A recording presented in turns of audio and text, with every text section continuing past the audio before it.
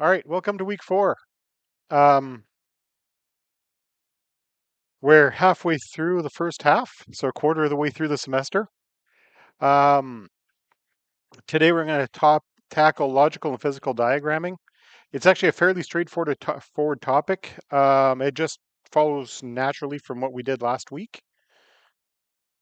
So um, before we dive into the diagramming thing, let's do a quick uh, refresher about keys. You should have learned most of this last semester, but I've learned not to assume. So I'm going to go over these different keys automatic quickly. Primary key. It's a key used to identify a row in a table uniquely. If you need to find a row, the primary key is what you're going to use to find it. A foreign key. It's a key in a table that you use to enforce something called referential integrity between two or more tables. A compound key. It's a key made up of two or more columns. A surrogate key. Now, some of you may not have heard this called surrogate. You may have heard it called a synthetic key. A surrogate key is an artificial key that's used as a primary key, and the database server determines its value. It has no real world meaning. And here's the nifty thing a key can be a combination of any of the above. A primary key could be a compound key that's made up of one or more foreign keys. It may even have a synthetic key in there while it's added too. There's basically put, there's no real limitation of what a key can be. It's what it does. That's important. Um, so yeah, you can have a compound key where values come from an external source. Um, through being a foreign key. All right. Now, I'm going to talk a little bit more about keys because this is kind of important. Um, I actually used to have like four slides on this topic, and I realized really I only needed the one because uh, this covers the important part. All right, first I'm going to talk about natural keys. So just so you know, a natural key is a key that gets its value from the data itself. In other words, it relates to something quote unquote real. Email address, social insurance number, passport number, student visa number. Those are things you could use as a key, and they're called natural keys because they come from a real world source. Natural keys have um, a few pros. It reduces the number of columns by one but it reduces the number of columns. Um, and it's meaningful, as in other words, somebody sees what the key, the value in the key is, and it makes sense to whoever's using the system. Um, now, those two pros come from database designers from the 70s, 80s, early 90s. Um, 90% to 95% of modern database designers do not think that's a pro. Just so you know. Um, but you'll always, no matter where you go to work, eventually you'll come across that old fart that it's the things the right way. Then you start arguing. Um, and I know about arguing with them because I've done it many times in my career. So, cons of a natural key they can be complex they can be slow. Usually they're slow because they're complex. For example, an email address. People think that's not complicated data. Yeah, it's strings, special characters, and it's long. Text-based keys are slow because when you're trying to look something up, it's going to go, if you go, you know, even use my first name as a key. All right, first letter D, look through everything that's a D. Oh, next letter is an A. Then it looks through everything that's an A. Then it looks for the N and the I and the E and the L. And then if we're going to keep going with my email address, dot, you know, G, A, U, and eventually, but it's got to do it from left to right. It takes a long time to do it. It's difficult to update. In this modern day, how many of you have had the exact same email address your entire life? One, two. You just think you've only had that. How many school email addresses have you had? You never have an email address in school back while you were in high school? No? Okay. Some yes, some no. Okay, cool. What happens if your email address changes and you're using it as a primary key? You end up with a chicken before the egg problem. How do you put a value in if there's already a value, but can't change the value if the value is already there? And then if you're using it as a foreign key, what do you do with the foreign keys? That means you got to change the children without changing the parent, but you can't change the child because the parent's not there yet. It's terrible. Um, it can lead to privacy and security issues. Okay, we decide we're going to use people's SIN number as their primary key. Uh, Script Kiddie managed to uh, get a hold of your database. Congrats. They got identifying data for you. Same thing with visa numbers, passport numbers. They've got driver's license numbers. They're real world and it's stuff people quote unquote understand. And then somebody gets a dump of the database and the you know they're having lots of fun at your expense at that point. Um, yeah. So that kind of data is just not safe to use as a key for obvious reasons. In Canada, the number of people getting new social insurance numbers has gone up over the last 15, 20 years. Anybody want to take a guess? Why? Somebody's had their identity stolen. So their SIN number is now in the wild. Somebody's gotten a hold of their SIN number and they can no longer do things because their SIN number says they're bankrupt, even though they never opened up a single bank loan because somebody, you know, opened up a bunch of stuff against them. Step one of the process, you go to a Service Canada desk and you apply for a new SIN number. Now all your old records don't exist and don't belong to you anymore. Just stay away from natural keys, please. Surrogate keys, on the other hand, they are fast on searches and joins. Why? Because it's usually a number. And what are computers good at? Numbers. Right?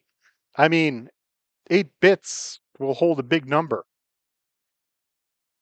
It has no business meaning. And, you know, if you notice on the pro con of the natural keys, it says that it's meaningful as a pro. The fact it has no business meaning is actually also good because who cares what the value of the primary key is? The only time the primary key quote unquote has meaning is in systems where the primary key is used as, say, an order number, an invoice number, a customer number. But even then, a lot of systems will generate two numbers one for the record and one that's public so that there's no direct link between the, the actual raw record and the data.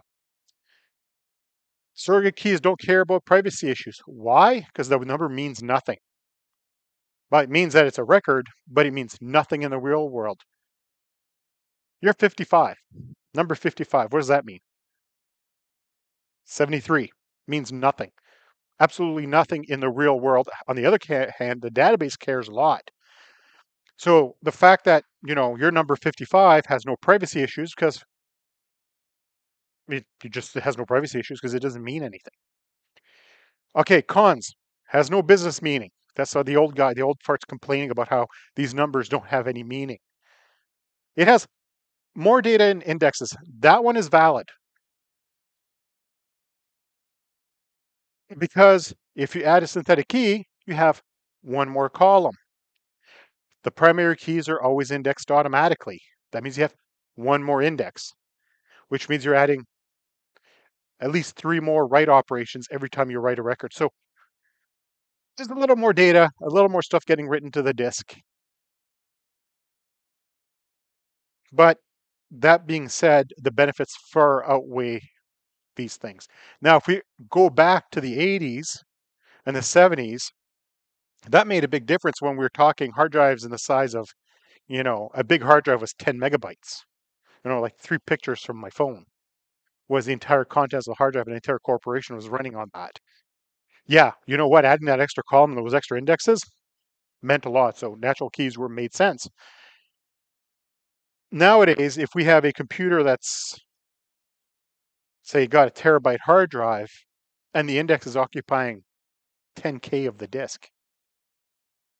It literally the Windows file system is actually going to use up more disk space to say that there's a file there than the actual contents of the file. It's just kind of cool. And then, you know, people complain they're ugly because they're numbers. Whatever. So after this slide, you can guess which side of the argument I fall on. Uh, I'm a big fan of surrogate keys. Uh, I've been doing database design for 26, 27 years. And I originally did try to use natural keys because that's what I was taught when I went to school. And uh, I discovered really quickly it was a really stupid idea. Uh, the only, actually, let me back up. There is, so far in my career, I've seen two sources of data that make good natural keys. Can anybody take a guess what those two things might be?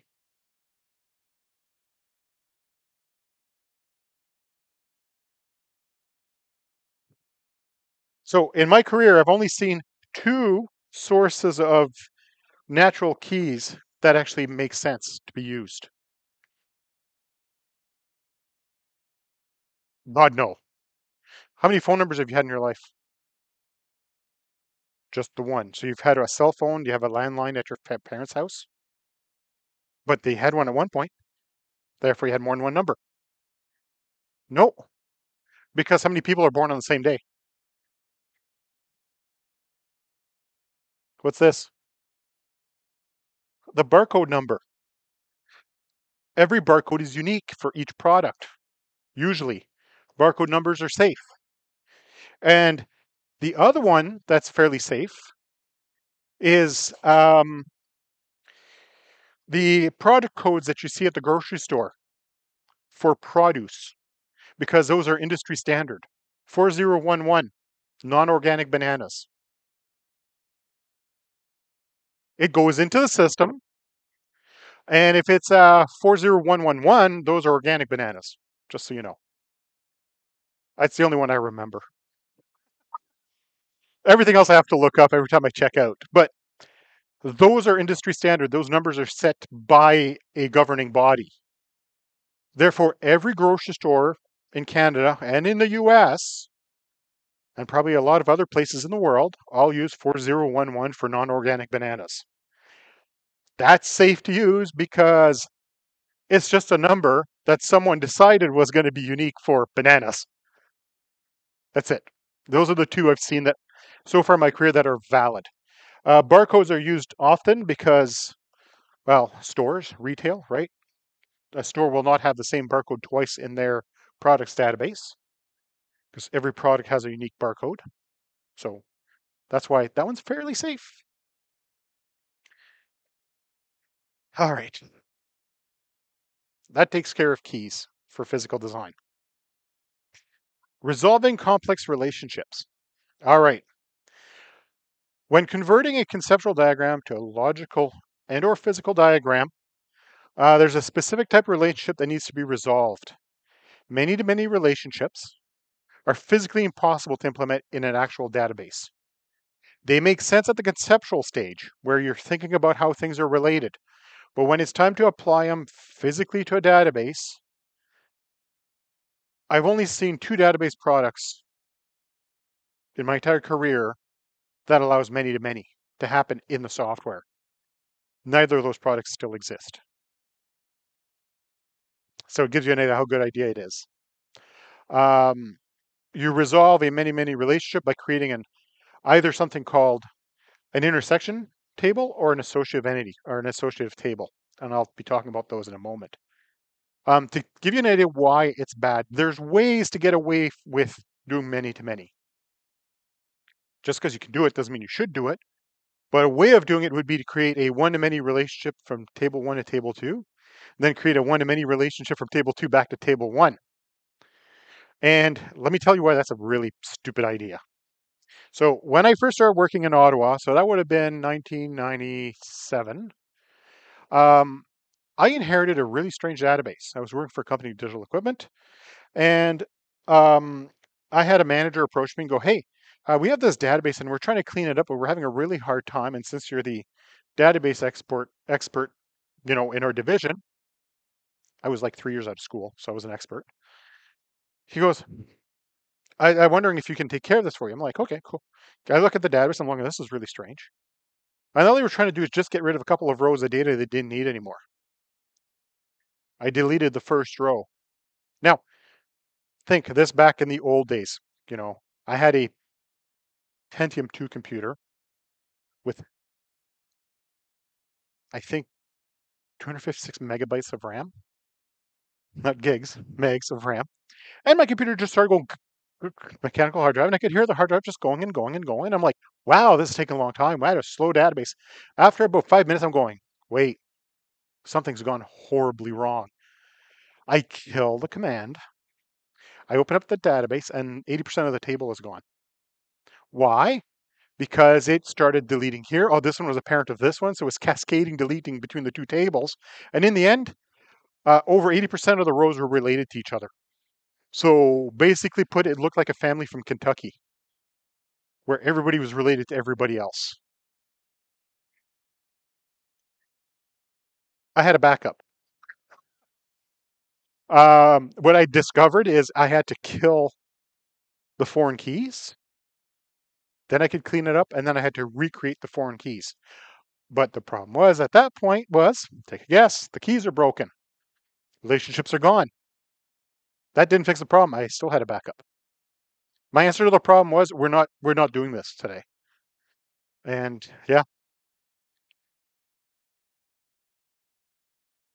You can set rules to allow it to auto cascade. Yeah. Update yeah, on on delete, cascade. And instead of setting null or do nothing, it will cascade and delete the child. So then the child got needed to delete its parent, its child, and it was going pew pew pew. Suddenly you had a child that was actually a parent of one that you already tried to delete, and then suddenly everything was just going like this. Actually, I was really impressed that the software actually managed to delete that much because I thought it was just going to blow up. So that's why you don't do many to many in the database.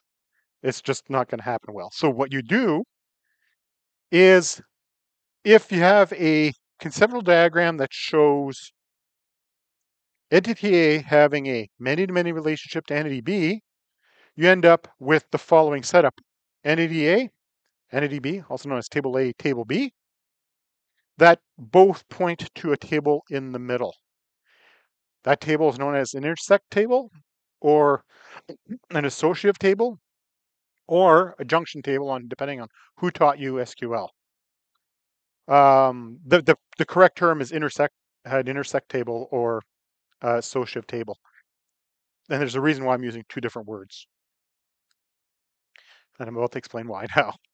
So when a junction table is the same thing as an intersection table, just so that you know you have something to relate what you may have heard previously.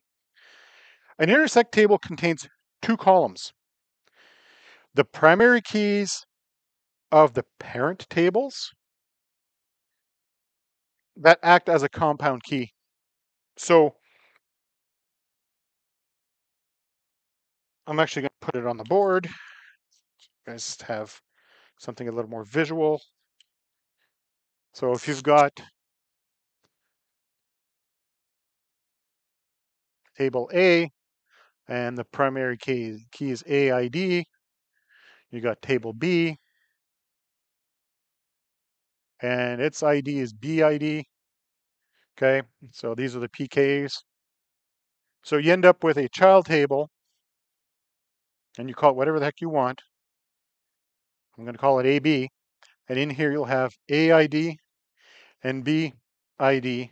These are both primary key, and they happen to be foreign keys. Like such. That's a junction table and intersect table. I mean, you may have seen them last semester. I don't know if the prof brought up these kinds of tables or not. But this is a is known as an intersect table or junction table. These um, are fine. They do the job. They're not that great anymore because of modern data governance rules. Uh, there's a lot of things this is not great for. Um, so, can anybody take a guess why this might be have problems with data governance rules? So for you, for those of you that don't know what a data governance rule is, it's, it's a rule that says you always know who touched the data and what did they do and when did it happen. What does this table not have? Well, it has a primary key because it's a compound key. It the relationship is the foreign key, so the primary key to the foreign key. So these are PKs.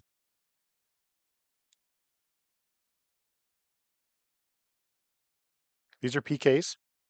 The PKs feed into the the, the constant count primary key. So remember earlier I was talking about how a key can be a primary key, a foreign key, a compound key? That's what intersect tables do. The problem with this for data governance concepts is you don't know who touched the data. You don't know when they touched the data. There's not enough columns. And the second you add more columns, it's no longer a junction table or an intersect table. It's a associative entity. And the associative entity, if we were going to do this the proper modern way, is we'd have a uh, a created date, we'd have a uh, created by, and we'd have a bunch of other columns on here to track who did it. When did they do it? And what happens if uh, this relationship is no longer valid and then a little bit later becomes valid again? You delete it, you lost the history, you recreate it, you've got history again. Intersect tables are pretty much, you know, the concept of an intersect table by itself is dead we all use associative entities now with all the extra stuff. Um, so usually an associative entity will contain the primary keys of the parents. So it'll always have the foreign keys of the parents, but often the associative entities at that point start having a synthetic key because it gets too complicated. Because what happens if we need to keep track of this relationship, but it can be created multiple times, that means we have to have multiple the created dates part of the primary key. So we have a three-part primary key, and that gets slow, so we create a synthetic key. Um, another example you'd see of this would be like an order, an order line. You have an order. Each item in the order line usually relates to a product. So you're associating a product to an order. And then you have a quantity and a price and a you know, blah, blah, blah. And suddenly you have extra columns on your intersect table. So now it becomes an associative entity. They're both valid.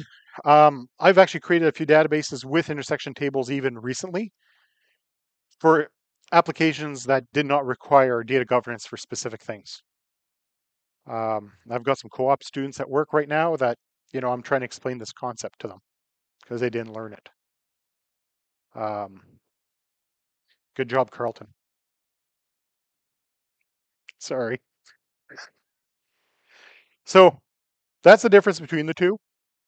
Just basically put assume that you're working with associative entities uh, because odds are that junction is going to have more than more that more than just two columns in it. That's all. Okay, so a logical versus a physical diagram. And so far you guys heard about conceptual diagrams. That's the one with the boxes and the diamonds and the ovals. Now, logical and physical diagrams are really, really similar. They're almost identical.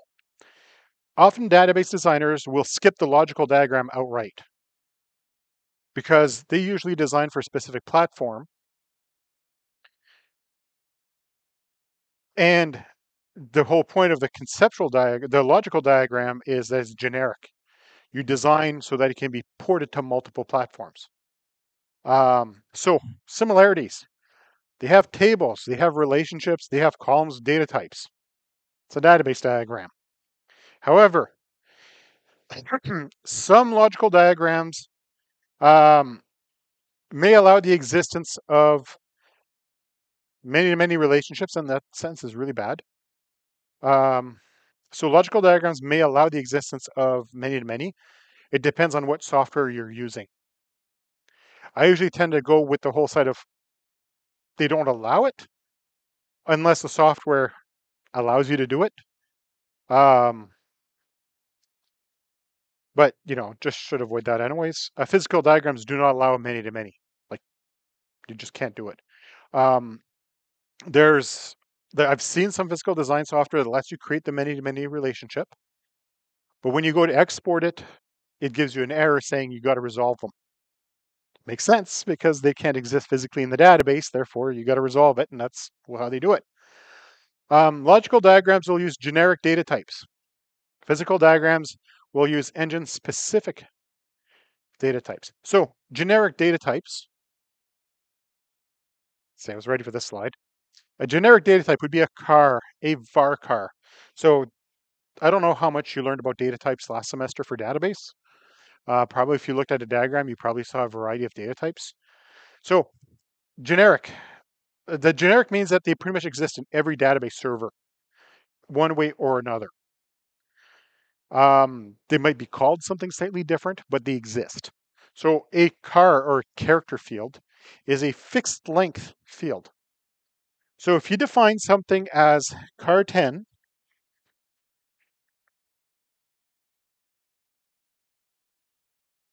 use the board again. If you define something as char 10, and this is one that throws a lot of people for a loop. Okay, char 10. This is a character field that allows 10 characters. Seems obvious, right? But here's what's not obvious. It will always use 10 bytes of data. You put in the letter A, it's 10 bytes. You put in A, B, C, D, E, F, H, I, J, J. That's also 10. What it does is it will pad with spaces. So it's always 10 long. Now, some people would think, why the heck would you even want that? Back to the 70s. Okay. In the 70s and early 80s, computers were really, really slow. Might shock you just how slow they were compared to today. They're really slow. It's amazing what they managed to do with those things. But the advantage of the char 10 is it actually made retrieving records faster because the database software always knew how much it needed to how much space it needed to access on the media. Think about the old tape to tape systems. The operating system says, I need 10 bytes. It would know exactly how many milliliter, milliliters, millimeters of tape it needed to move to move 10 bytes. It, it's actually allowed it to physically optimize because it knew exactly how much room to move. On the hard drives, it knew it needed to move the head so many sectors to get all 10 bytes. So it could optimize the read-write operations because it knew it was the next column would always be this far away from this current column. Performance by physical design. Um, that's a consideration modern database designers don't think about anymore because does the SSD really care about where things are and how long it takes it to read it? Not. So as a side effect of the char data type, though, data got fat. Why? Because the letter A takes up 10 bytes. A through J also takes up 10 bytes. This is wasting 9 bytes of space. Again, 20 megabyte hard drives, 10 megabyte hard drives. Uh, when I did my co-op in college, the company I worked for ran an old System 36 computer from IBM. Uh, the processing unit was half again the size of that table. Like it was a table where the monitor and the keyboard sat on top, but that was the computer. The hard drive was a 30 megabyte hard drive from IBM. That big. It was slow. But it was a thing. That hard drive was $75,000. In they bought it like late 80s. So today dollars it's probably like $150,000 for you know 30 megabytes. Just think about that number. So some data scientists says we can do better than this. So they invented something called VARCHAR, also known as variable character length fields. So if we took a varchar field, so you know at the varchar field, A would occupy one byte plus a little bit of something. I don't, the different database engines do it differently. So that's why I say a little bit of something. Uh, they'll put in special binary character here that says, this is the end of the field. You're done reading now. So it'll read till it sees this byte, this little combination of bits on the disk, and it goes, oh, good, next field. And so that means it will always occupy up to 10. But it only use what it needs, more or less.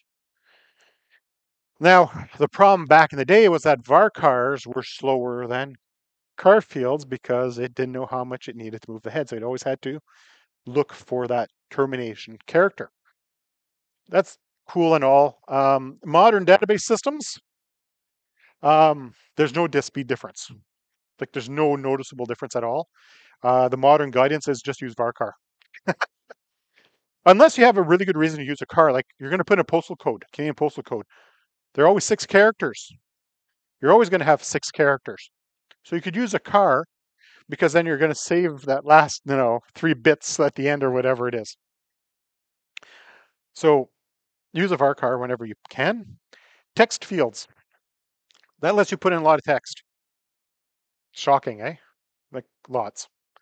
Um, some database servers call it something different. For example, Microsoft products call it a memo field.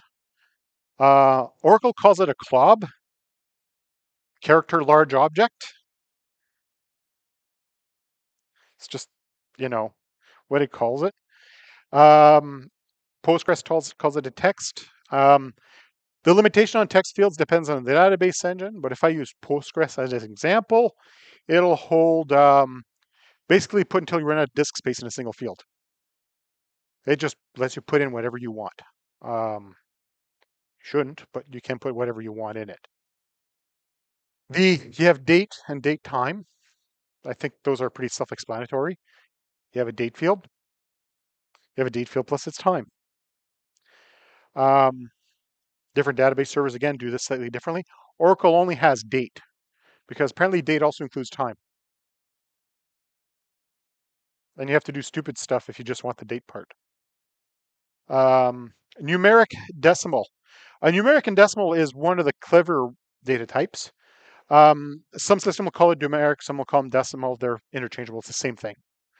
Um, normally, it's what you use for things like money. Because if I go numeric 6 comma 2. You'll notice there's two numbers in the parentheses. Length precision. So this means I can store six digits.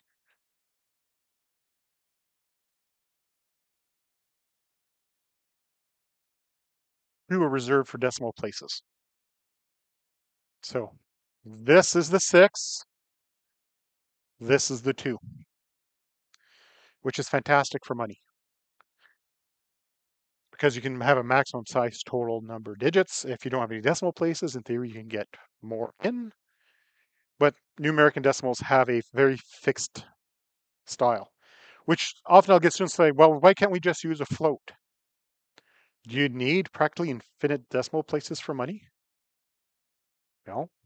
Why would you waste the space on the disk and the extra processing to deal with it? Floats and doubles are expensive compared to decimals and numerics. Last but not least, we have integers. Everybody in here knows what an integer is, right? I mean, I've had cases where I had students go, what do you mean, what's an integer? Makes me want to leave screaming. Um, the thing is that most database servers have multiple flavors of integers. You'll have a small integer, an integer, a big integer. And all that is is just how much how big can the integer be?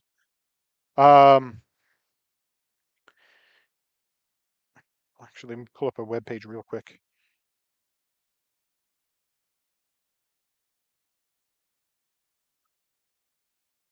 Uh, da, da, da. All right. Oh yeah, and MySQL's got something called tinyint. So a big integer, um, they use a uh, an exponent to express how big it is. Um, let me just Okay, let me just go grab one that's actually a little better. Um, no, that's not it. This. Okay. That's a big integer. It's it's a really big number. And MySQL uses about this uh, uses about the same size. Uh, the cool thing about MySQL is you can make it unsigned, so you can actually get one more digit of precision on there. So your number becomes, you know, even larger. Um, okay, so those are the generic types. We've got platform-specific ones. NVARCHAR you will find in Microsoft products. It stands for, and I think Oracle's got it too. It's it stands for uh, national? Nationalized? Varchar means that it will hold things other than you know regular latinate characters without using up extra room. So for those of us that use latin alphabets you might be shocked that chinese japanese korean have really complicated uh, they're not alphabets they are uh, character systems. And whereas we can express pretty much every Latinate letter with one byte, sometimes, you know, one byte usually covers pretty much everything, including accents and umlauts and all that fun stuff. The we had to create they had to create special code pages just for Chinese.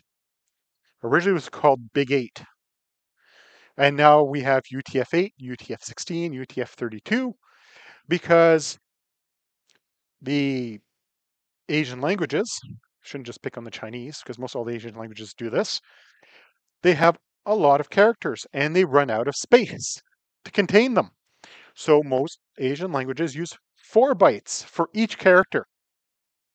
So if you were doing the varchar, the old school varchar, if you wanted to put in a single Asian character, you'd have to define it as a varchar 4 because it needed four bytes to store.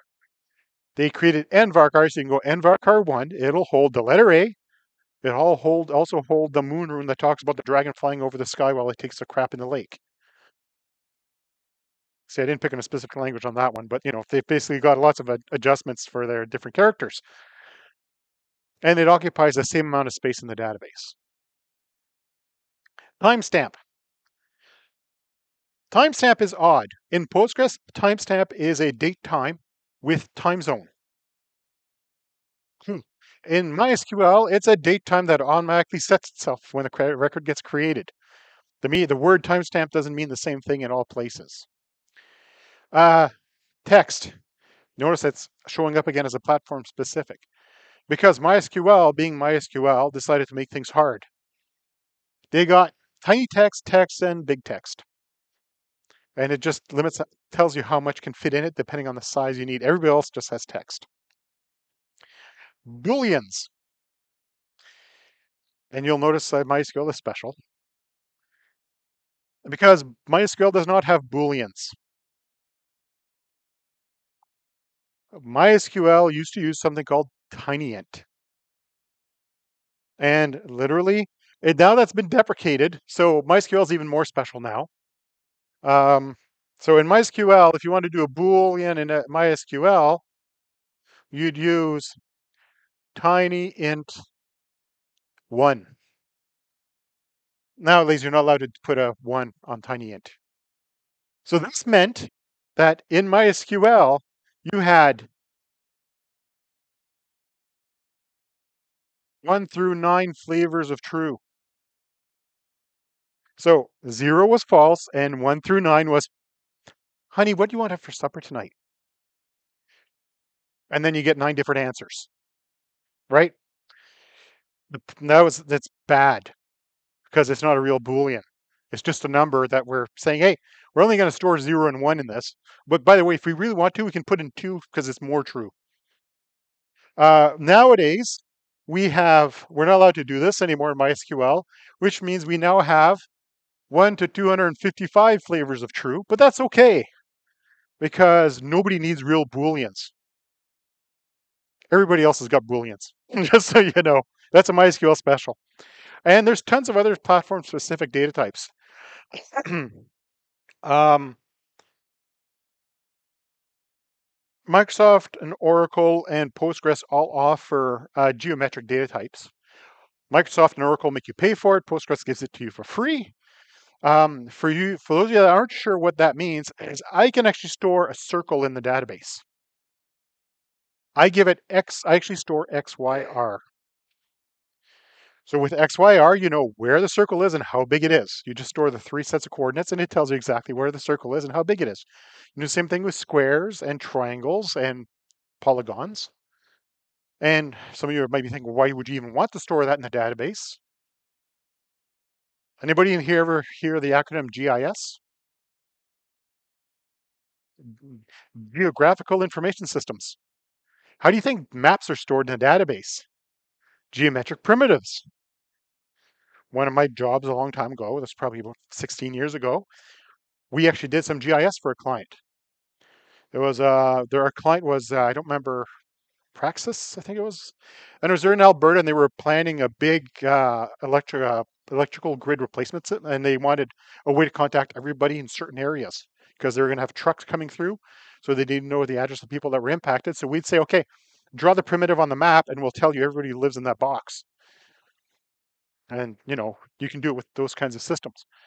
Um, Postgres has some other cool ones. Um, it's got um, networking data types, so you can store an IP address in it.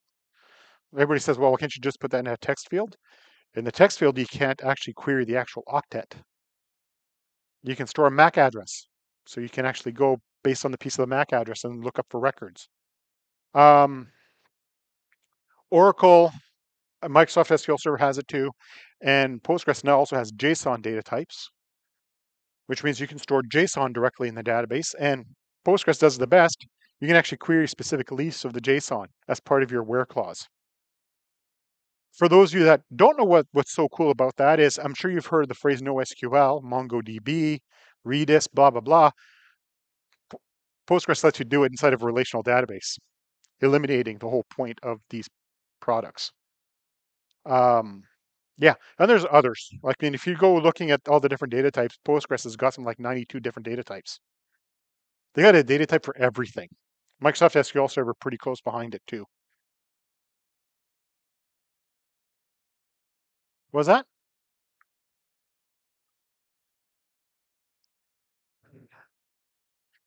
Okay. You don't. We have a data type called blob.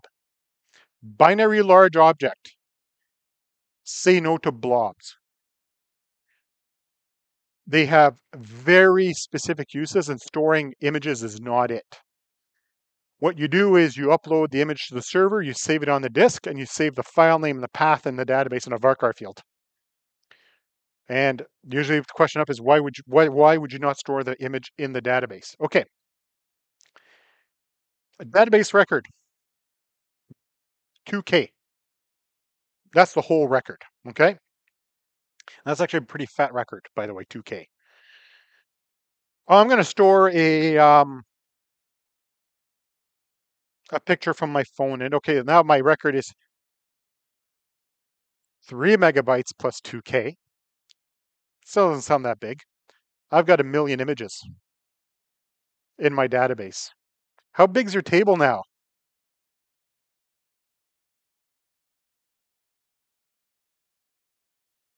Okay, three megabytes times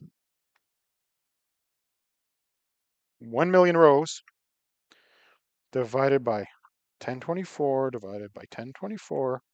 Nope. Nope. Damn. Okay. 1 million. 1 million times 3 megabytes divided by 1024. Your table's sitting at 2.9 gigabytes. And when it's time, when I would talk about backups in, uh, after the break, like after the reading week, you got to back up one table at three gigabytes just for that table. In the meantime, if you got the files on the disk,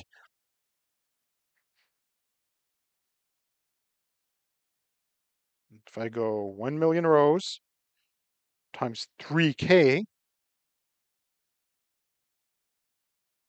2.86 megabytes is all it needs to store the same thing. And the disk is taking care of the images for you. So yes, don't store images in the database. Um, it's like if you ate McDonald's every day and never took a poop. Um, that having been said, there is a place. I just made him lose it. But hey, it's a good visual, right? You absolutely see what I'm talking about by using these horrible examples. Um, but that having been said, there is a purpose for blobs. It's when you need to store data in the database in its native format. That means you don't want to convert it to text. Um, an often used method for this is for translations. You will use a blob field to hold the translation because some database servers only allow certain character sets. So you define a table and it's going to be using Windows 1252, Latin 1, or UTF-8.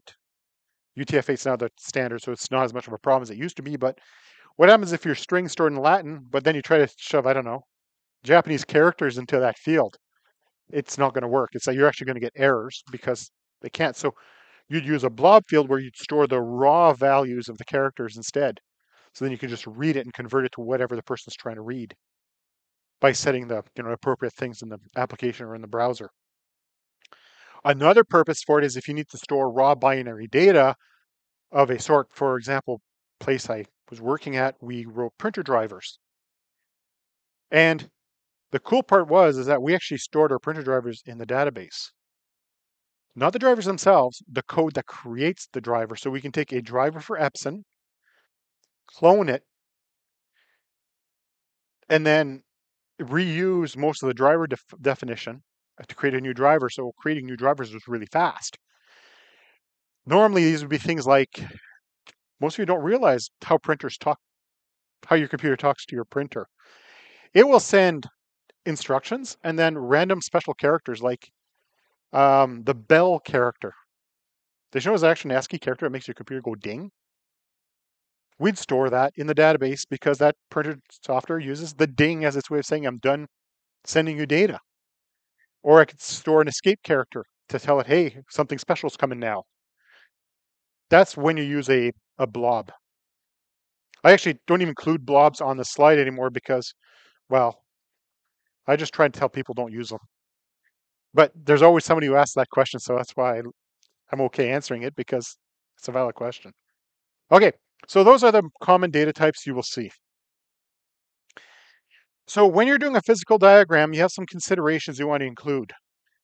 Okay. Composite attributes should be broken down into their component pieces. For example, a conceptual attribute of an address would become, for example, address 1, address 2, city, region, region being province, state, county, chome, whatever you want it to be. Uh, postal code, because pretty much every country has a postal code, except for some Polynesian countries because they only have an island. Um, and then usually a country will have, you know, the pieces. Um, try to make the data types and size reflect what's actually being stored. You don't need 255 characters for a phone number. Just saying. And then often I'll have people say, well, if you're using a varchar, why not use 255? When you're designing the database, you want it to reflect the data you're storing. Just because you can use lots and lots of space doesn't mean you should use lots and lots of space. When somebody looks at your raw database, the data type should give an indication of what goes into it. It's a hint. Um, and then if you're using systems that have like what they call an ORM, like uh, like a framework of some sort, an ORM is an object relational mapping tool. It knows based on the structure of the database how much room is allowed to go into the field. So therefore, if the field's defined as varchar 15, example phone number, and you try to feed in 25, it's going to give you an error because it says it's not a valid phone number. Um, so you tried to stick to generic data types as much as humanly possible. Why? It allows portability.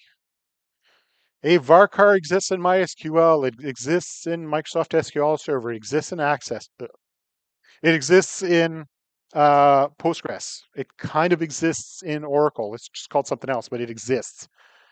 On the other hand, if you create a data type and it's a MAC address, MySQL doesn't have MAC addresses. I don't even know if Oracle has MAC addresses. Oracle has very few data types, actually. They just keep reusing the same ones. Um, my point about date and date time being the same thing. Um, but if you stick to generic, it's easier if you suddenly have a client that says, hey, you wrote this application, you spent three years writing it, I want it to run on Microsoft SQL Server instead of Postgres. If you use custom data types, there's a lot of re-engineering. If you use generic ones, just minor adjustments. Avoid storing sensitive data whenever possible. Unless you have to, absolutely have to, don't store credit cards, don't store SIN numbers, don't store things that help you steal someone's identity. Um, and if you have to store it, encrypt it. There's rules about that stuff, um, especially if you process credit cards. Uh, it's called the PCI standardization, and they they they will fine your company like tens of thousands of dollars if you don't follow the rules. So, for example, if you're going to store a person's credit card, you don't store the credit card, you store like the last four digits. So that person knows what card they used, but there's no way to reconstruct the person's credit card number. If you need to store the SIN number, you encrypt it. So that way, you need to have the keys to unlock it and actually view the content. And you want to use reference tables as much as possible. Uh, you may have know them also as lookup tables. Um, one example that a lot of people will see is a person's title, you know, Mr., Mrs., Miss, blah, blah, blah, blah, blah, doctor, whatever. Um, this is actually a UI thing more than a database thing, although it's good to do it in the database because, you know, it's managed. But one of the things I learned when I went through school, and I didn't believe the prof until I went into the real world and I realized he was right users are stupid. Always assume your user has the intelligence of a turnip and then realize the turnip's still smarter than your end user.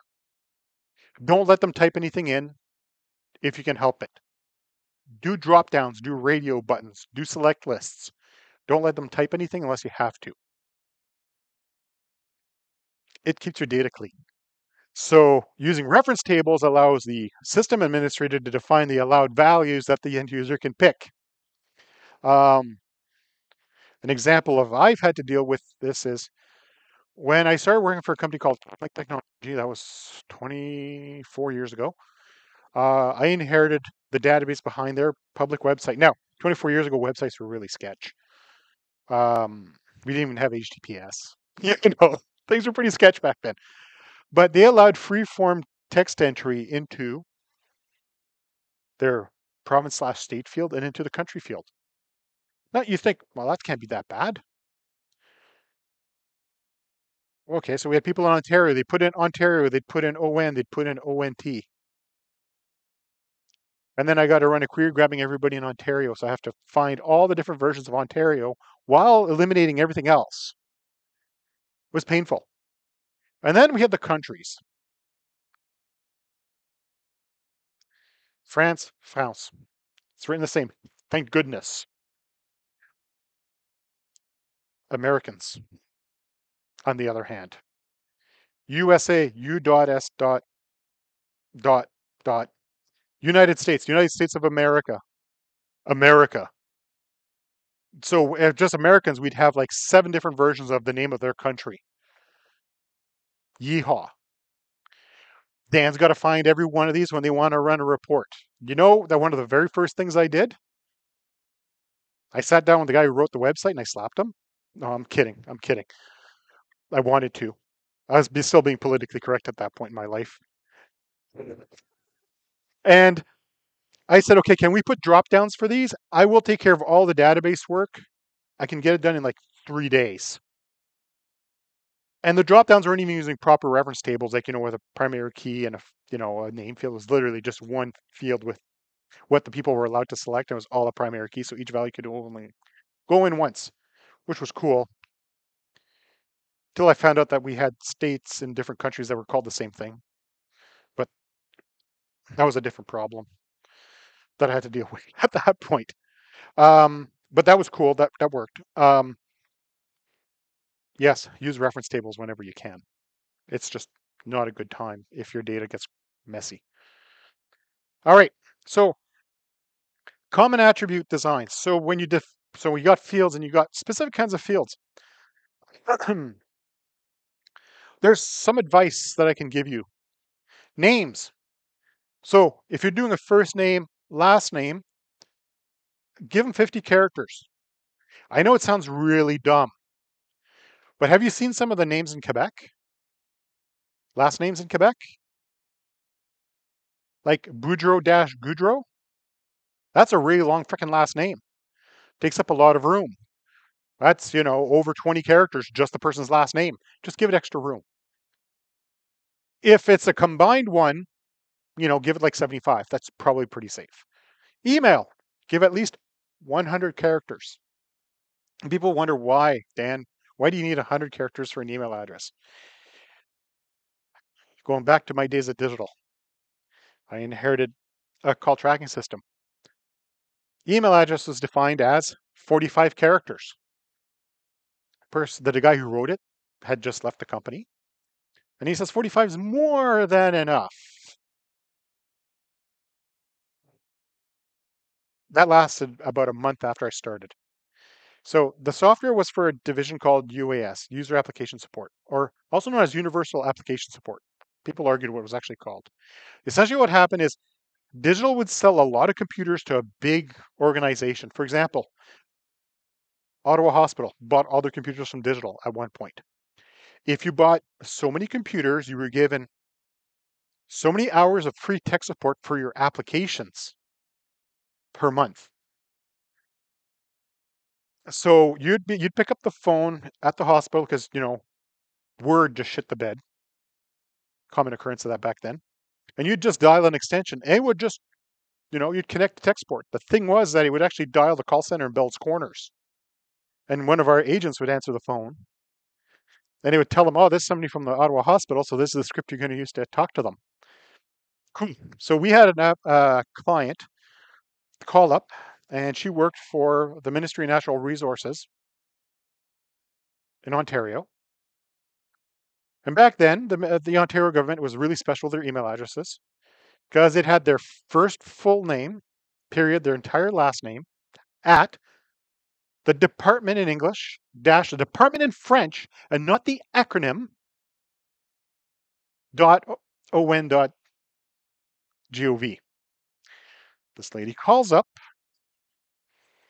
and her full name alone, because she actually had the Boudreau Goudreau name. That's where that one comes from. So her last name alone was, you know, over 20 was 20 characters. Uh, her first name was like a hyphenated first name. At ressources naturelles dash natural resources. It blew past the 45 characters like instantly. I had I was at my desk, you know, programming away, and my phone rang, and it's a tech support guy. He goes, "Hey Dan, I can't get a person's email address, and it's giving me an error." I'm like, "Really? Hang on, I'm on my way." Hang up, go look at their desk. Right, no remote control back then. I'm watching him, and I'm like, he puts it in, he hits save, database error. I'm like, wait, send me, email me that that address. So puts it in the email message. I look at it, and it was like 70 characters long all said and done. And I'm like, man, that really sucked back then because really, you know, imagine you had to actually type that in when you've never seen it before. The odds of getting it right were small. So, emergency patch time. They put it in the notes. And I had to actually edit the application and redeploy it that night. And this was a desktop application, it means it needed to be tested and all that fun stuff. Uh, I was at work till 11 that night because of that. So, give it 100 characters for email. 150 is even better, just argument's sake. Um, phone numbers. Always use character, don't use numbers. People go, why? Okay. If it's a number, how do you pick a subset of numbers inside of a number?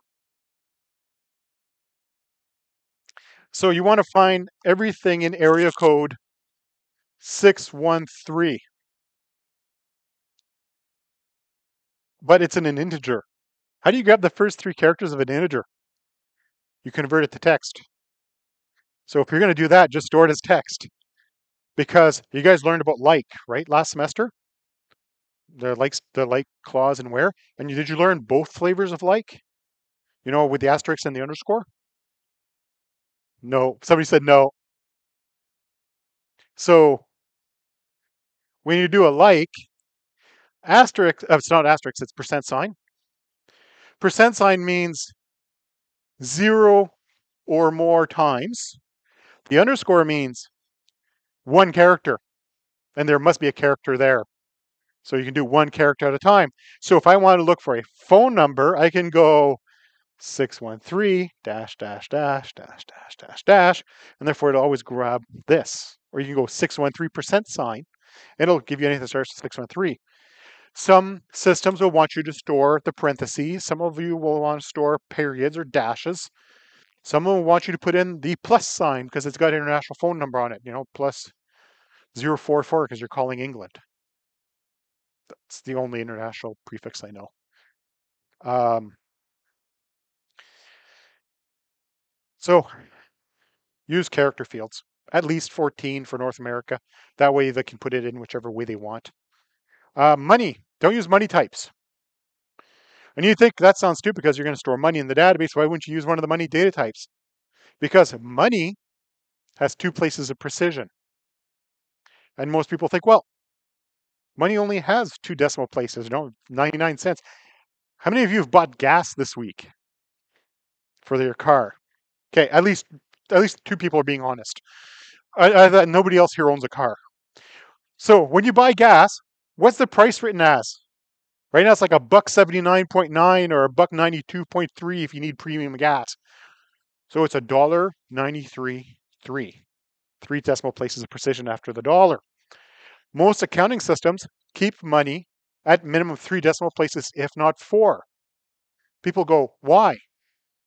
Exchange rates. Accountants like to not lose pennies. And when you do exchange rates, usually most exchange rates are at four decimal places of precision. Therefore, you want to store the exchange rate price at four places of precision so that later on, when you add it all up, you lose less money. It's just fake money because it's all in a computer, but you know, you're losing less money.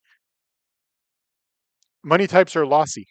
In other words, you lose precision after two because it'll round it automatically to two and you never know what those numbers were after that. Address columns can be challenging. How much room do you need for an address? I usually say 50 to 75 for each piece of the address. So your street address, give it 50, 75. I mean, has anybody here ever seen a German address? They're like that long. Um, postal codes are different depending where you are in the world. Canada, it's six characters. Unless you want to store the space, then it's seven. England, same thing, different pattern, but six or seven. Australia, it's five. Some countries only have numbers for a postal code. Therefore, you got to store whatever the maximum number they have. And then you got Americans again that were stupid. American postal codes. About 20 years ago, they realized they ran out of postal codes because they said five digits will be enough for everything. Thank goodness other countries looked at the Americans and go, guys, it's stupid. You need more, at least six. Anyways, because that six gives you a lot more, right? So it got to the point where a single postal code could be for over a million people or more.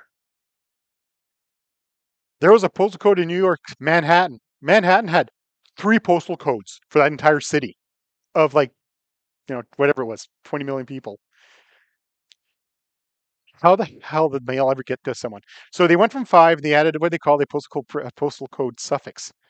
So you got the five digits dash another four digits, which then says this is actually the mail office that's going to route it.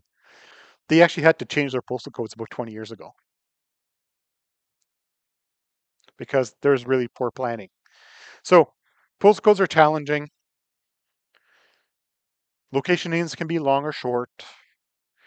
Addresses are just challenging. In England, you need two cities, two cities because of how some other addresses are written. You'll have, you know, some some shire near some other shire. That's literally how um I thought somebody was joking because we had a UK office, and the guy was joking was telling me, "Yeah, we don't have enough room to put in a person's uh, full town name." I'm like, "Dude, the it's the city name is like 35 characters." He goes, "Yeah, I know it's this," and it's like, but I'm like, "Okay, how about two city names?" He goes, "That's pretty much how we do it here." so, you know, uh, region, state, province, and country should use the full name or use the ISO code. Most people don't realize it, but every state, region, province, and or country has an ISO code. Ontario, it's ON. Canada is CA. China is CN for the country. And there's a three two character version and a three character version of all of these too, just for, you know, making things complicated. Use the short use the I usually recommend using the ISO code because that's safe. Um, if you can, don't let them type anything in and use a reference table. So just pick the right one. That way everybody's happy. Until, you know, somebody goes to pick their country from the list and it doesn't exist in the list because their country just changed names for the third time in four years. Uh, Myanmar, for example. Or their country no longer exists. You know, regional area formerly known as Yugoslavia, which is now Croatia, Serbia, Montenegro, and I think it's split up again the, the countries come and countries go. Your lists will change. Um, yeah. Okay.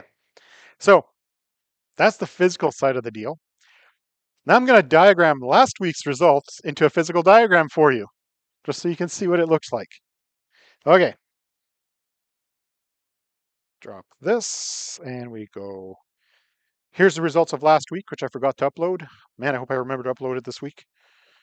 Um, and I'm going to use Vertabelo because, you know, that's what I'm asking you guys to use. I have purged my Vertabelo, so it's nice and virgin, just like all of yours should be now. And I'm going to create a new diagram, and I'm going to do a physical data model. And I'm going to hit next, and I'm going to call this uh, lecture 4. And I'm going to leave it like this. And what's cool is it will let you pick what database engine you want to use. We're on MySQL, so we're going to use MySQL. Start modeling. Set start modeling. Oh, hang on. Ad blocker. Let me reload that. Man, this was working too not long ago. Wait. There we go. Let's try that again. Next, uh, lecture four, MySQL, start. Why am I feeling I'm got something that's, I want empty. Start. This was working. I've even had people submit their work with this. Hello?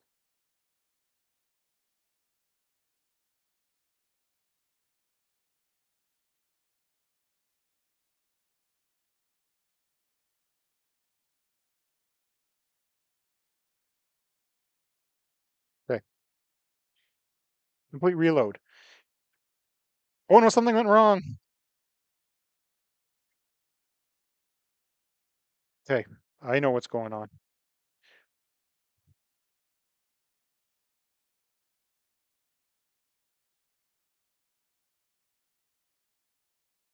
Mm.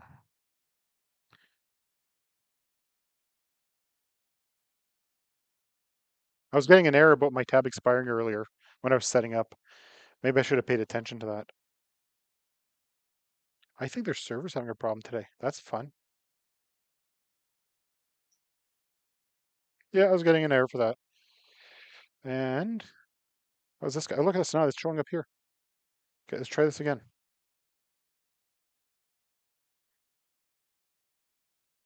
Yeah, I th think their system's having a problem today. Or the college is having a problem. There it goes. Oh, that's so slow. That's got to be the college. I was literally using it today for to, for an example for someone else at work, and it was like on my three gig fiber connection. And wow, that's not what I wanted. Okay, let's go back to my documents. Be slow. Okay, let's close this one. Let's go with this one.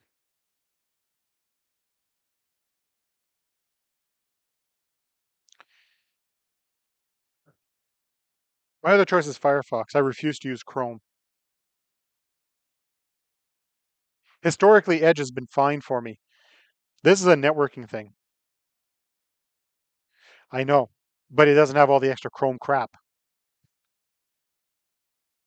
Come on. Oh, that is that is definitely network. This is not a good uh, not a good look.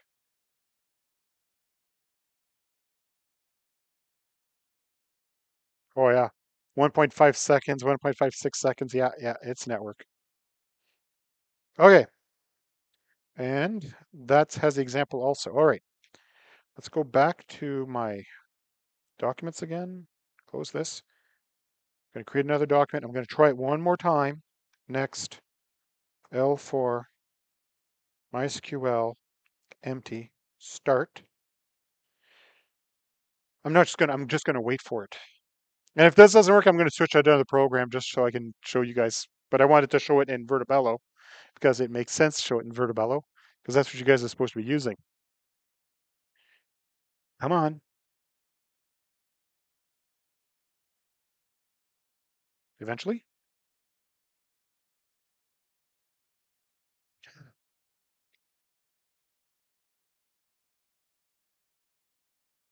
There's the error message. There's L4. Okay. It's always when you try to do a demo.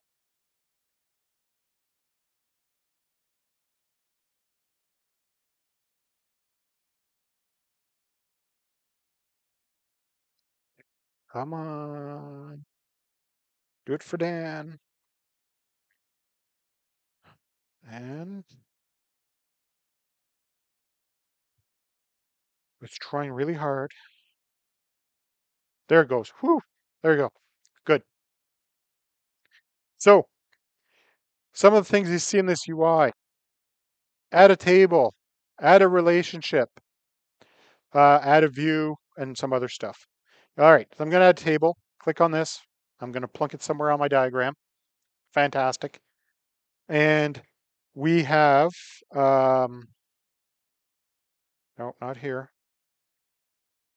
So we have author and genre. So let's start with author.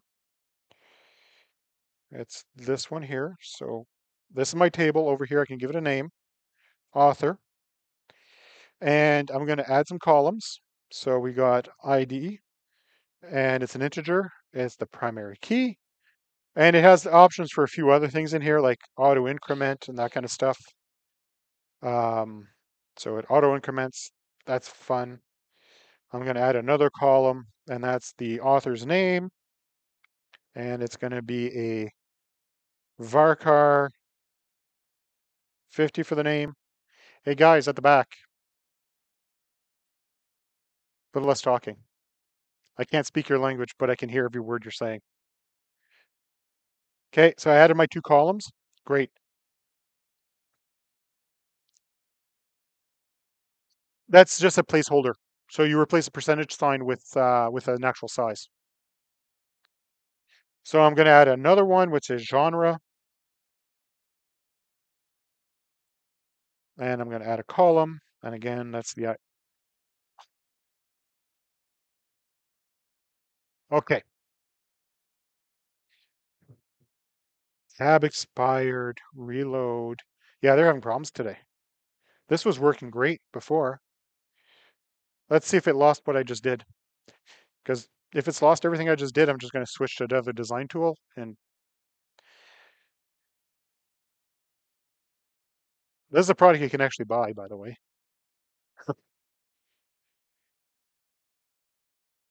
Come on, just load. But yeah, I've never seen it be this bad.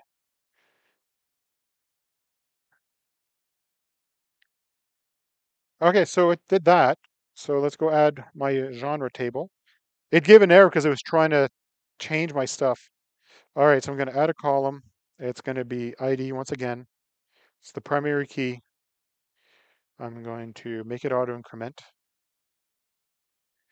And I'm going to add another column. And that's the, I'm going to call it genre name. Like this. And it's a varchar 50, save. Okay. Uh, now we're going to add a book.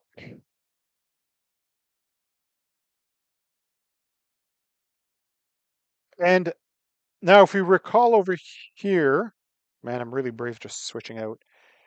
This is many to many, and this is many to many. Remember, you can't do many to many in a database. So how do you resolve the many to many? You add an associative entity in the middle. First things first, I'm going to add my columns to my book. Book ID, that's our primary key. Auto increment, uh, book name, and that's a varchar. Going to give it 100 characters because I've seen some very long book names over the years. Okay, so that's the uh, book title. Sorry, not book name, book title.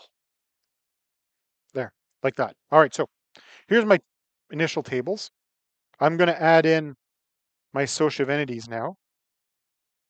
So this is going to be um, book author. Uh, this one's going to be uh, book genre. And I'm going to be uh, that person. That's just going to use an intersect table. So we do a new reference. I got to remember if it's click on the parent, then click on the child. Yes. And then I'm going to do it again. Book to here, genre to here, book to here. All right. Now, right now, these are intersect tables. They're not complete intersect tables uh, because the columns are not part of the primary key. So we'll make them part of the primary key. And do the same thing here, which should look familiar to what I had up on the board earlier. So now we have a way to associate a genre to multiple books and have a book to have multiple genres. The author can have, write multiple books and a book can be written by multiple authors. And it's handled by this situation. Now, I am going to add in uh, my borrowers. Think that's what I called it.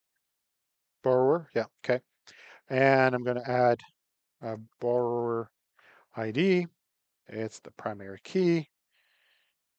And I'm going to make it auto increment. Yeah, you will notice that when uh, you guys submit this, I won't be able to tell if you made it auto increment. I'm just going through the motions because that's what I normally do. Um, I'll add the uh, borrower name. And again, that's going to be a varchar.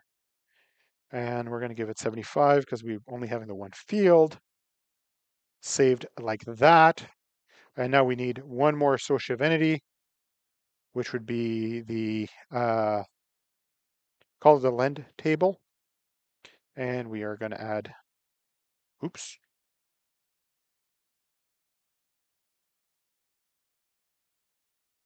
Like that. And when we look at this diagram, we know there's a borrow date and return date. So these are the primary key. And then we're going to put in the uh, borrow date, which is, some people are going to wonder why I'm going to pick date time. And I'm going to explain that in a minute save, and I'm going to add one more column, which is the return, uh, just call it return. And I'm going to also use date time for this. Save. Okay. Hit save. And I hope I don't lose my diagram. Um, yeah, hang on. I'm just going to go and go shoop so I don't lose it completely. Yes, I took a screenshot, didn't save the diagram. It's the fastest way right now for me to make sure I don't lose it. Uh, what did you say about the name being an int?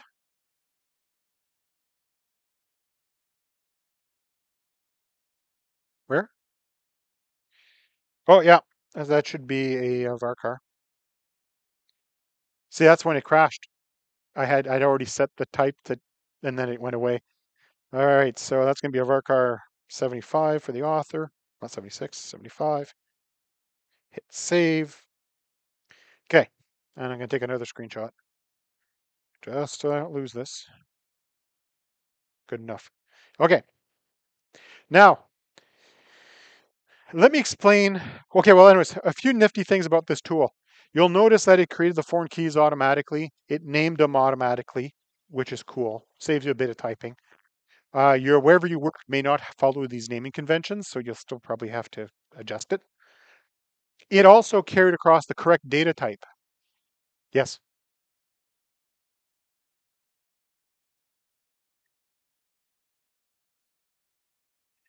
Not quite, but that's that's close to the idea. So when people track data, whenever you have the option to put in a date, always put in the time also. It occupies very little extra database space. Make sure my battery wasn't dead. It occupies very little database space, and you get to answer the question, when did things happen? Not what day did it happen on, when did it happen? So if you're capturing the date and the time, it's easy to strip off the time and just show a date, because that's just formatting. So imagine that in this system, suddenly, you know, some manager, politician wants to know, so at the library, we will lend out books. What's the most popular time of day that people come? So we make sure that we have enough staff on time. If you're only storing the date, how do you know when books are being checked out? On the other hand, you can run metrics on the date time to find out when during the day people come to the library to borrow books, and you can make sure there's extra librarians on staff. Same thing with the return. Are all the returns showing up roughly, you know, in the morning? That means people are dropping off books at night after the library closes. On the other hand, some people are bringing in the books during the day and they're getting checked in right away. Therefore, you can track the trends of when people are doing stuff when you track date and time. Online ordering, same thing. You want to track when people take place orders so you know what the pattern is during the day. Um, place I left, I was working at recently, place I just left like six months ago, just feels like yesterday, but it's like six months ago. Uh, we regularly ran metrics to, um, what's the word I'm looking for? We would run the metrics so that we could see how quickly people started buying our software after we sent out a mailer. So we sent out an email blast to all 48,000 of our customers that have not upgraded recently. And then we start watching the online store to see, you know, on average, how quickly the pickup of buying stuff, and we could see through the day the trends of when people were receiving the email and buying upgrades. Managers care about that stuff. Accounts kind of care about that stuff. Did the sales rep really care? No, he just cared the money was coming in. But don't make your data lossy. If you can add a use up an extra two bytes of data of space so you can give proper metrics. It's fantastic. And most people don't realize like this date time is precise to in most database systems is precise to like microseconds. Not it's not like, oh, it happened at 1059 and 36 seconds. It's actually got dot and four digits after that for the microseconds. So you know the moment the person gave you their money. that very microsecond that you took their money.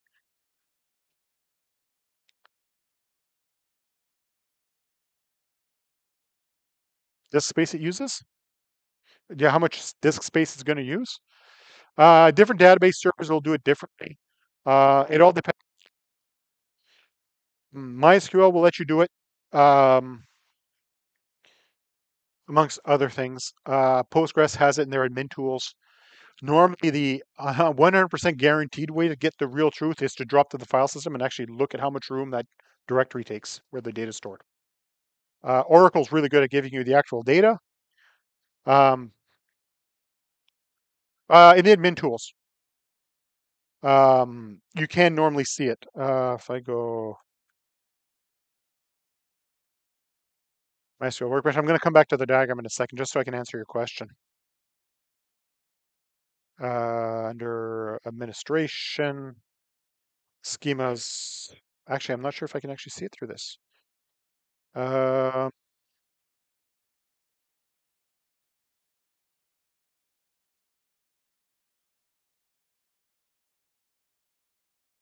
is this? There we go.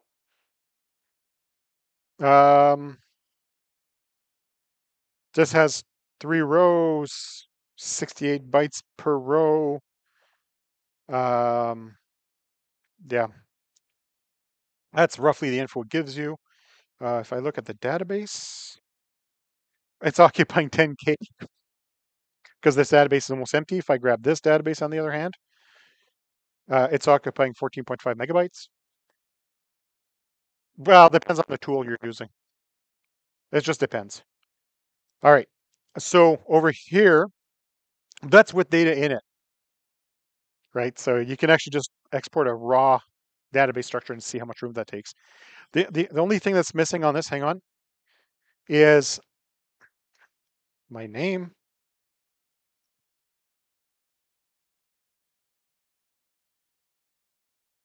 Because that's very important when you submit your work. That was the uh, add a new note. And then you go to export it. Um, you can export an image and you pick whatever you want and you go generate. I've noticed sometimes the export's really good and sometimes the export's really bad. Um, and apparently it's really slow today, so you, I guess screenshot might do the job better. I just don't need the entire thing. I just need the working area. I don't need to see the rest of the UI. This usually, like last time I did this was like this. Eh? Is it pardon? Yeah, there it goes. It shouldn't be this slow, but this is how I, this is for lab four. Lab four, yeah, the one where you do the conceptual diagram, then the physical diagram. And I just, did I actually hit download? I don't know why Vertabelo is that slow. Maybe it's not that slow for you guys. Also, could be my machine that's acting up. Uh, my machine, it's slow for you guys too. So, and there it is, exported. And it, it didn't save my note. My A? My note didn't make it in, even though it's in the diagram because it hadn't saved it yet when I tried to export it. Um, you know it's saving on Vertabelo. Um, let me close this. You notice this little icon here? When I move this, it changes color and then it just turned blue. That's it saving it in the background. Once it's not blue anymore, then probably it's saved. Normally, like I said, it's usually not this slow. So I don't know what's happening today. Um, could be the college as well as anything else. Um, the other cool part of this tool is you can export it as SQL.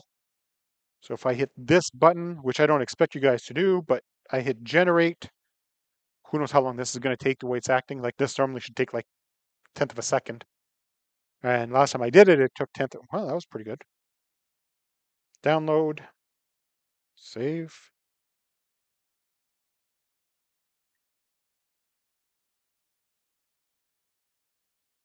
And yeah, and then you can take the SQL and copy paste it into MySQL and run it. And it'll create your table. It includes your constraints, your foreign keys, your primary keys. You can see it's all auto increment. So you can use this tool to generate your SQL, which is nice. Yep. Do that again. I hit the SQL export button and I tell it to create. I can tell it to do a drop amongst other things and go generate. A. Or you can create views in this if you want. Or if you're actually using like a proper database system. So the other cool part of this is I can convert this to a different database engine using the exact same thing. And as long as I'm not using anything that's specific to MySQL, it'll actually do the conversion for you.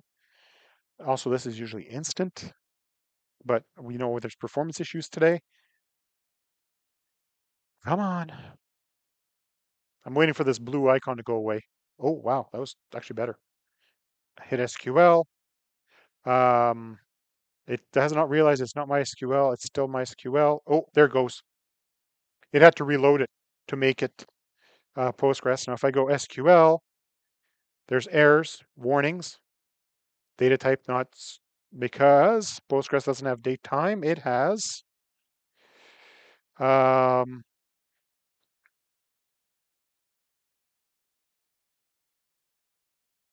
it actually uses something called timestamp, and it's not letting me type. Hello.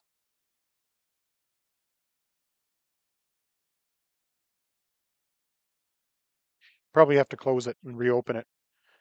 Um, they're having problems today, obviously. Oh, there it goes. There we go. They have timestamp, save, and timestamp save. And you can see they've got some other interesting data types in here. Timestamp, save, and save. Wait for the blue icon to go away. And you'll see the difference between it, MySQL and another database engine. And that's why you want to use generic data types as much as humanly possible. Like that was what, two fields I had to change to make it work? So now if I go generate the SQL and I go generate, um, and if I'm using Postgres, I go download, save, and I go grab this guy, which is the new one. And now it's doing the um, Postgres version of all the fields. So cool beans. So it does work, just be patient.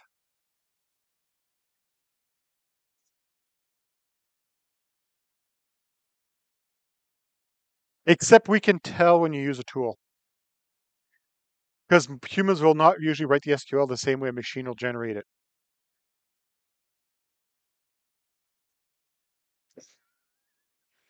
Uh, fair enough, because I've had students when and I teach one of the other courses I teach where they learn SQL after the design stuff, and I go, "You got to handwrite it. You can't use a design tool. How do you know?" I can tell just how you create your foreign keys. Yeah, you could use this to do it, theoretically. Would the prof notice? Who knows? Uh, if for somebody that actually knows their stuff, yes, they'd notice. And the fact that if you have six people that submit the exact same file identically, uh, because it, you notice the note wasn't included in it. So there's no identifying comments in it to say who did it. Um, but this, in theory, should now hopefully generate with my name on it. Now it's saved. But yeah, that's how you do a physical diagram. The different tools will do it slightly differently. You know, MySQL Workbench will do it in Crash, but Crash very badly. If you're running MySQL Workbench on a Mac, you won't have any icons because that's a bug. And you have no icons on your toolbars. You have to know the keyboard shortcuts to use a Mac with MySQL Workbench. Uh, Oracle's designers, gross. So download this. Come on, just download.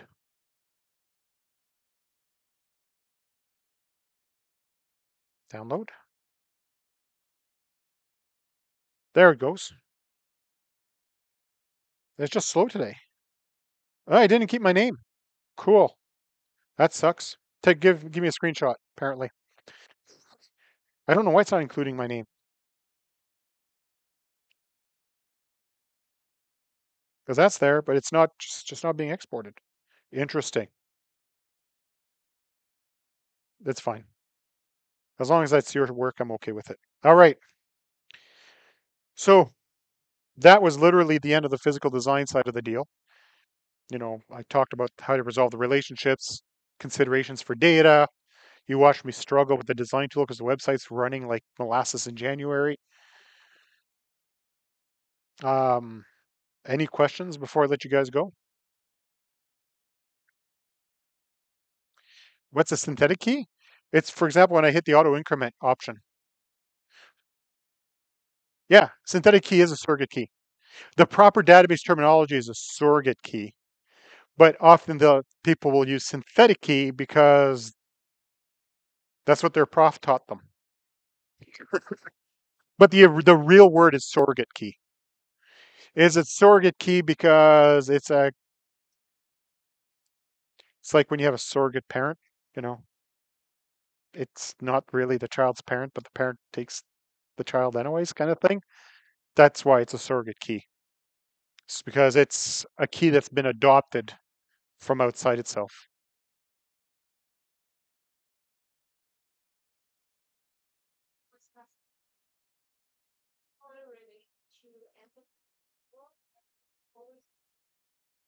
Well, that's the point of a synthetic key, is that it has no real world meaning.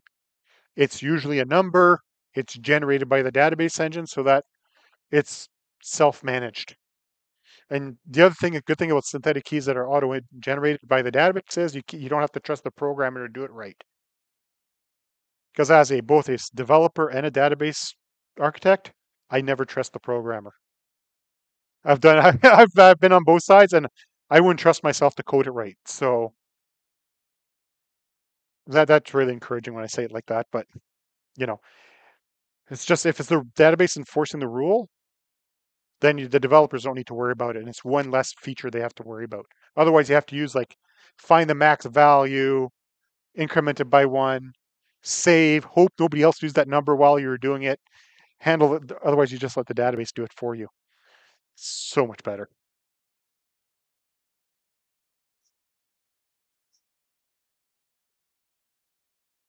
This, these are the social entities.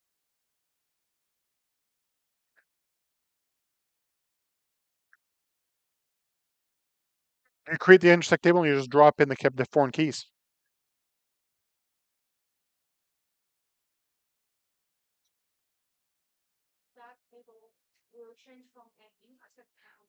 Uh, so this isn't an intersect table. These are intersect tables. This is an associative entity. Yeah. That's literally the only difference between an intersect table and a associative entity. The associative entity has extra columns.